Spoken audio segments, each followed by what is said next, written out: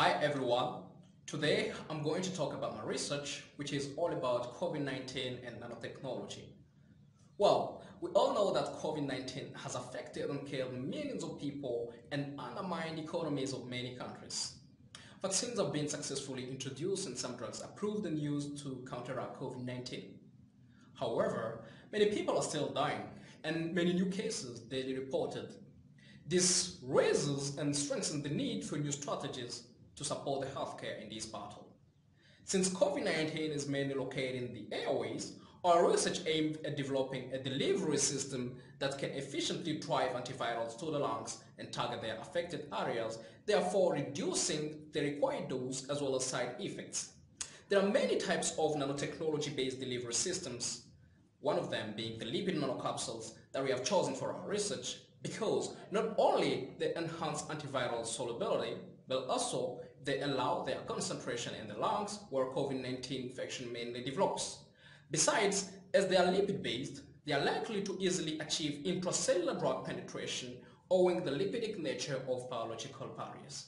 So far, we have applied the design expert software to the design and optimization studies and it helped to build a reduced special cubic model that predicts the desired features of lipid nanocapsules. We used a very simple process named phase inversion to produce lipid nanocapsules, and the optimized formulation's particle size ranges from 40 to 60 nanometers. And this was assessed using the dynamic light scattering and the transmission electron microscopy.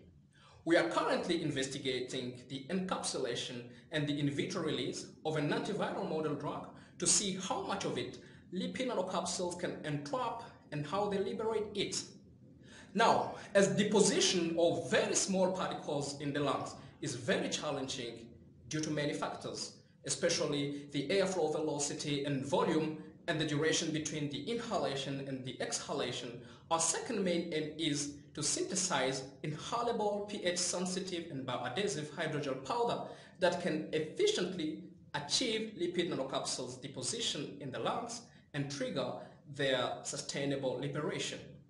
Later on, antiviral tests will be carried out using model cells infected by coronavirus. And it is worth mentioning that these delivery systems may also apply to other respiratory infections.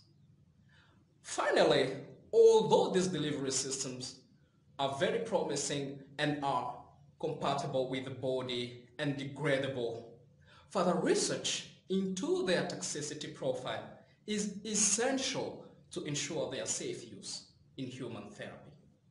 Thank you for your attention.